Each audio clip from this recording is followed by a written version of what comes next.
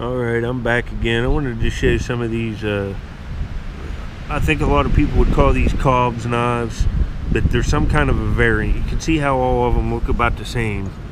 Um, this straight edge here would be the knife edge. And the the whole back edge of these, this is just polished smooth, the full length all the way around the turn, up to the other turn just like the base of a like our cake a big sandy point would be like the most heavily polished one you've ever seen. So it has 100% grinding all the way down this all the way up to here.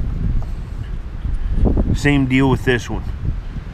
Real nice worked edge on this side and just polished it's just polished smooth the whole length. Sorry about the wind we're getting wind gusts and same with this one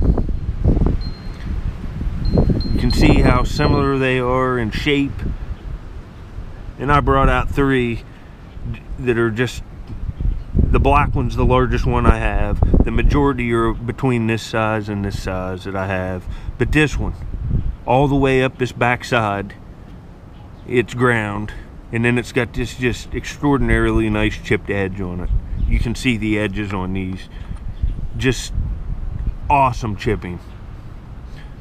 And I just was putting this on. I know people have Cobb's knives. I see them being found on YouTube a lot. Um, but is, does anybody have them that are ground like this? This is some kind of a variant, I think. I've not seen them like this. Um, if you've seen these, please send me a message in my inbox. Um, I'd like to see what you've got, if you have anything similar to this, and what you would call these. Because don't really know if you want to call this a Cobb's or not.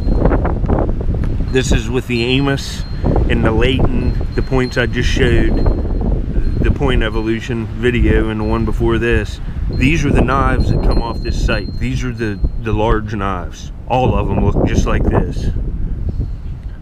So, uh, there you go. Um, if anybody knows anything else about these, um, like I said, just send me a message. I'd like like to hear from you. Um, I've just not seen them. You know, if they weren't ground like this, I would just call them a Cobbs, but 100% grinding all around this curved edge. So the edges on these that are facing to the left here are ground all the way down around. Just polished as smooth as you could get. And then they've got this awesome cutting edge on one side. And I would guess all three of these are made of river pebbles. This one definitely is. I would say this is as well a heat treated river pebble. And I would say this is, might not be, but I would guess it's a river pebble. It's really nice flint. It could be really aged Flint Ridge, but I'm not sure. I'd say all three are river pebbles. But there you go. Hope you enjoy. Later.